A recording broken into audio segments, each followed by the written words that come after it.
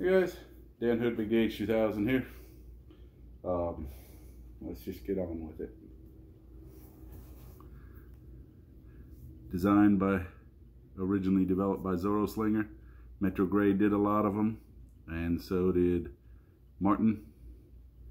Uh, reminded myself that I'd wanted to try to make one to see what it was like. Got one or two flaws I could sand a little better. But, uh, you know, I kind of started this as a test piece. I'll clean it up if anybody wants it. But uh, it's definitely a hoot to shoot. um, I made it so that you can hold it like this and push it out. So when you're actually shooting, the forks obviously lean forward a lot. I don't go flat like I think it was originally designed. I keep it up a little. Uh, just so you know, this is not the precise same design. Uh, it it's a fair amount bigger. I've also narrowed this up.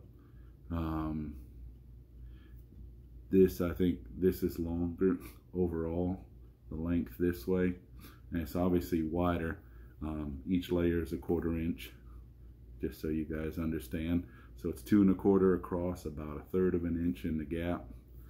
Um, it qualifies as a may not qualify as a PFS depending on now gap wise it does and total width wise it does but it might be too big this way for some of the definitions of a PFS but anyway it's definitely interesting. It does have a little bit of band slap if you don't get any everything lined up as does any O the top but this one's a little more prone to it that's why this is here. It does protect you a bit, but if I was to make it again, I'd probably make that just a touch longer because this fingertip being up here is a little prone to get hit and some of these areas are prone. Some of these areas are prone to get hit.